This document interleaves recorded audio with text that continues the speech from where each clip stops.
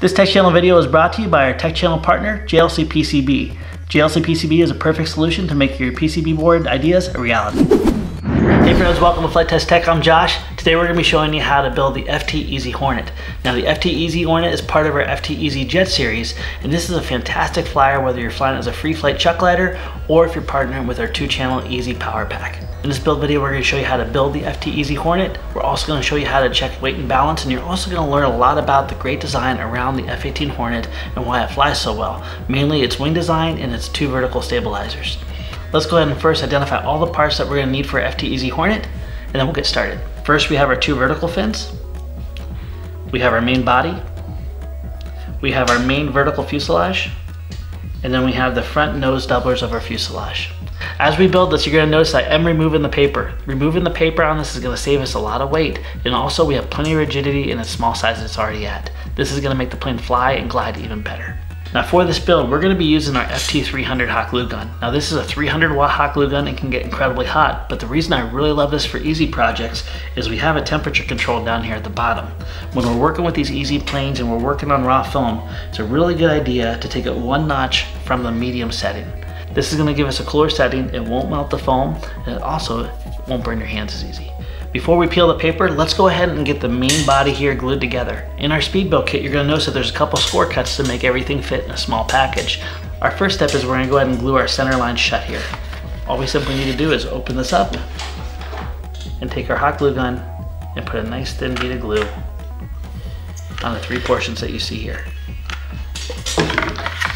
It's always nice to have a scrap piece of foam ready just to spear that out. Notice I haven't removed any paper yet because that way when I want to remove the paper, it's gonna be a nice clean joint. Now that our main seam is dry, we're gonna go ahead and carefully peel the paper. Don't worry if your paper comes off in a couple pieces, that's absolutely fine. And we're also gonna carefully peel the paper on the back side now. There you are. Now before we move this, you're gonna notice that the back vertical stabilizer here has a score cut that is almost completely through it. To keep this intact, we're gonna go ahead and take a thin piece of tape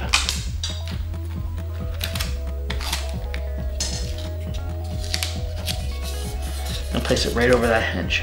Now that our main wing section is all complete, we're gonna go ahead and remove the paper from all the foam pieces that we have left. Let's go ahead and do that right now. Now that we have all the paper peeled off, let's go ahead and start our assembly of the main center fuselage. So our main center fuselage is gonna have a little nose piece that you see right here. We're just gonna go ahead and do a quick practice test fit. And then once we're happy with that, just a little thin bead of glue on both sides. Our next step is to install our doublers. Now both of our doublers are identical to each other. So all we need to do is pick one side and then line it up. The way we're gonna line this up is by lining up the outer surfaces of the nose and then along with the bottom and also the very top. Keep in mind that this area here that's going to expose the canopy is just for decoration, but you don't want to try to move things back and forth. Simply concentrate on the bottom layer, top nose piece, and the back of the fuselage. Once you're happy with the way everything fits, we're to rotate this over 180 degrees, and we're to put a nice thin bead of glue. Don't need to put too much, right along all of our pieces. Take it right down to the table. I'm just gonna line up my pieces, taking my time, and we're just gonna hold this down for about 30 seconds. Same process now on the other side. Always do a test fit. This is gonna help us not only make sure that we're looking at the right spots to line everything up and that our piece fits correctly, but it also helps tell us what side we wanna put our glue on. And we're gonna put a nice thin bead of glue right along all of our pieces. Notice that whenever I'm gluing my pieces down, whenever possible, I try to use a table as my friend to keep things flat and straight. And we're just gonna hold this down for about 30 seconds. All right, so for our next step, now that we have our fuselage doubler done, we're gonna go ahead and do a practice test fit. A couple things I wanna point out about this fuselage is you're gonna notice after the last wing joint here, this actually angles up. This is gonna give us the proper amount of deflection we need for our tail to make sure it glides well and flies well. So make sure that you don't straighten that out or keep it straightened. It's also the other reason why this tail piece here is made to flex a little bit. So we're just gonna give this a little bit of a pre-flex let to kind of establish that angle so it doesn't fight it. Once we have that established, we're ready to install this. Now we're gonna take our time and we're gonna slightly open this up.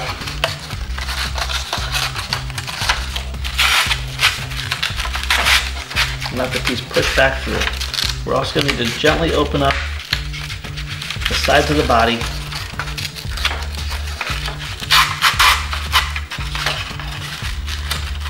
A little bit more.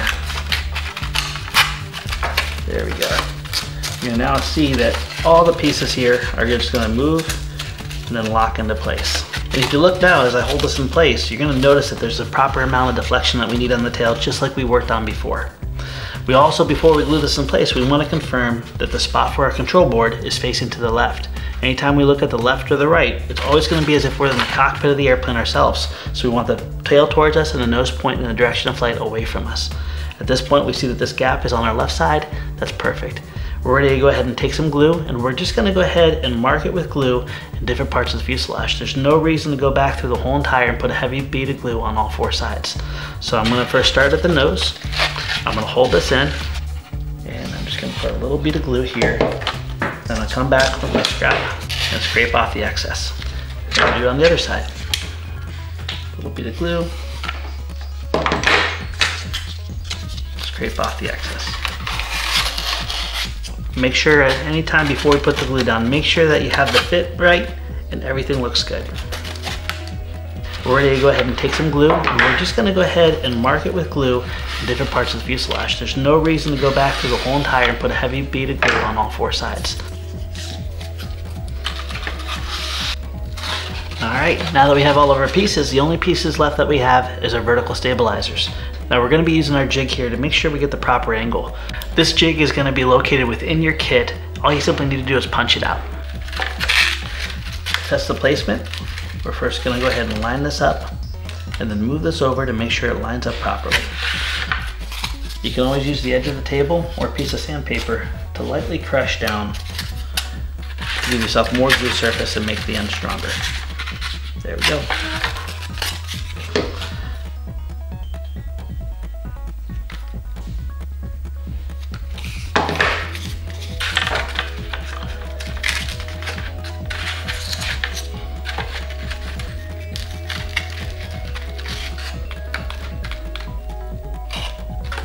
And the same process on the other side. Quick test fit. Take down the table and just do a very, very light crush.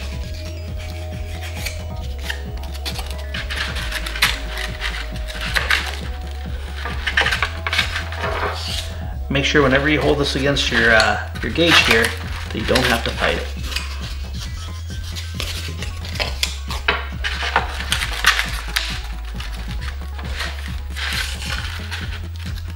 We go.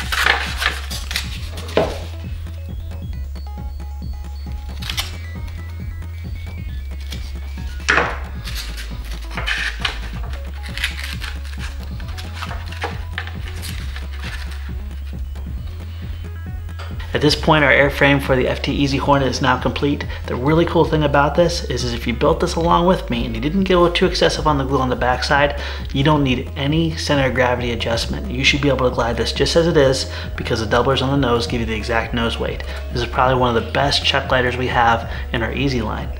Now at this point, let's go out and take it out, trim it, and I'll show you how to adjust it if need be. All right, for the center of gravity, the center of gravity is pretty much right at the point where these doublers end here. So you hold this up, you're gonna notice it's pretty much balanced, just slightly behind, and that's fine. That means it's slightly nose heavy. Let's go ahead and toss with our friend Haley here and see how she glides.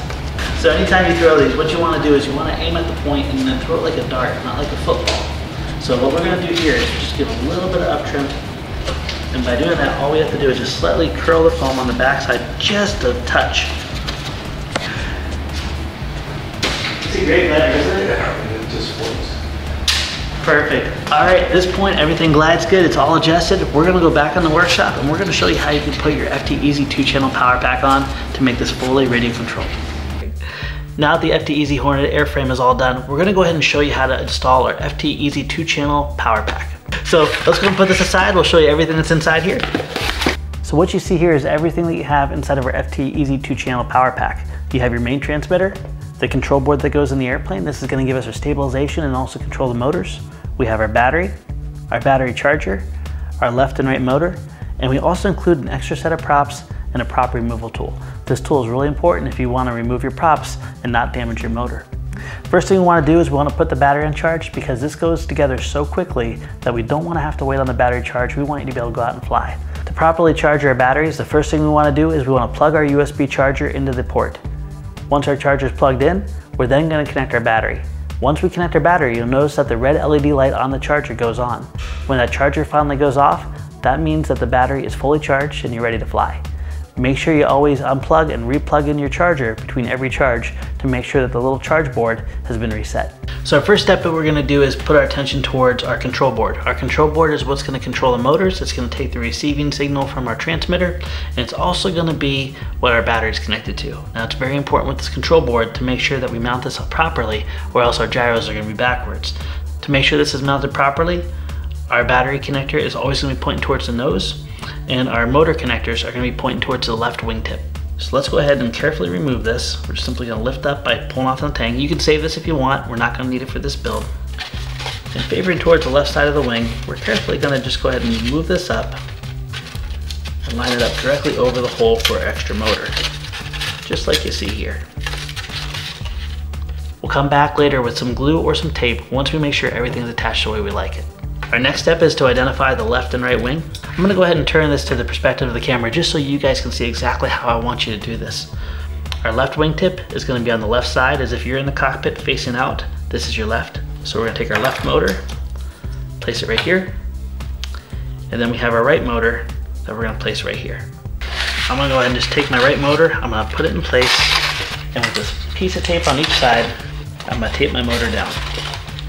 This comes in very handy if you want to swap your electronics from one plane to another. There's one. And again, we have our left motor. Same process for our left motor here. There's one.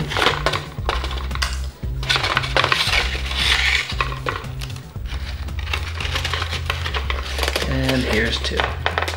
Putting our attention towards the right motor, Carefully going to wiggle this through both the fuselage and the control board. With our right motor lead passed through, we're going to line it up to the white connector. And we're also going to make sure that the pins line up properly as well. If you feel like you have to force it, make sure you double and triple check that your pins are lined up directly with the connector. Same process now on the other side, this time it's red. Again, we're going to take a look at this. line these pins up and press it into place. We can now take a piece of tape if we want, and we can dress up our motor leads. Here's one.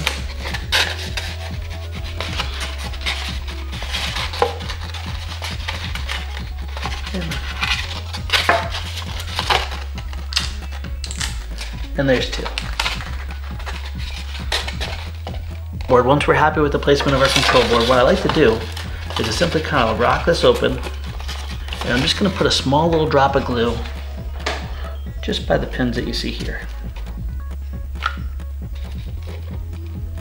I want to make sure that this can easily be removed when we go from one airplane to the other.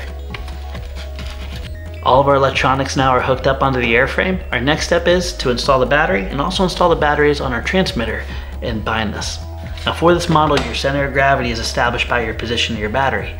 Now basically when we got the glider earlier, we established where the best glide was and where the center of gravity is. This is a great indicator for where you want to start with, with your plane being now radio controlled. You can adjust this forward and backwards though, to adjust the flight characteristics on how you want it to fly best. Now for the best glide slope on this model specifically, it was about a quarter inch behind the doublers of the fuselage. So I'm gonna go ahead and place my battery Push it right through the doublers like you see here. And I'm gonna position this until my center of gravity is right where I liked it before. Again, we may need to move this backwards or forwards a little bit, but this is a great starting point. Now that we're happy with the center of gravity, our next step is to plug in our battery. And if your controller is not already turned on, all we simply need to do is turn this on. With our plane turned on, we're gonna turn on our controller. You're gonna notice it's gonna go to a slower flashing. When we go all the way to full throttle, and then all the way to close throttle, you're gonna see both lights on the airplane and on the transmitter go solid. At this point, if I take my controller and I give it throttle, when I rotate to the left, the left motor should speed up And when I rotate to the right, the right motor should speed up. And also when I give controls to the left or right, you should hear the left and right motor speed up. So when I give controls to the left with the motors running, the right motor will speed up. And when I give it to the right, the left motor will speed up. Keep in mind that the gyros are serving the purpose to keep the plane tracking straight. The controller is serving the purpose to steer you left and right. At this point, we're ready to go out and fly it. The only recommendation I do have is unless you're flying in a very wide open area, go ahead and press your rates button one time to make it flash like you see here. This is gonna give you higher rates and more maneuverability. Let's go out and fly. All right, friends, we're all set to take this up for its maiden flight here. A couple things to also refocus on here. Center of gravity is everything. And also, once you put the electronics on, you may find that you have to adjust it slightly different from when you had it when it was a glider. Specifically for the F-18, what you may notice, you may have to curl up the back elevators a little bit more to get the proper uh, flight characteristics. And also, the center of gravity may need to shift forward a little bit more. Uh, let's go ahead and put this up in the air. Uh, one thing I strongly recommend, once you bind this, Press your rates button one time, make sure that little light's flashing, that's gonna give you high rates. If you're in a wide open area, you can always try low rates, but high rates seem to work the best for these.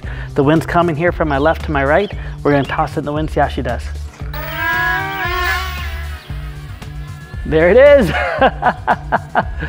she flies fantastic. Let's go ahead and do a turn to the right. Anytime you want to go up, you simply give it more throttle. Anytime you want to go down, you give it less throttle. Now with these planes, you never really want to go totally closed throttle or else it'll give you a lot more power when you go to turn it. Make sure you go ahead and cut your throttle just before landing, but other than that, carry at least 10% throttle even on a descent. Let's go ahead and put her in for a landing here.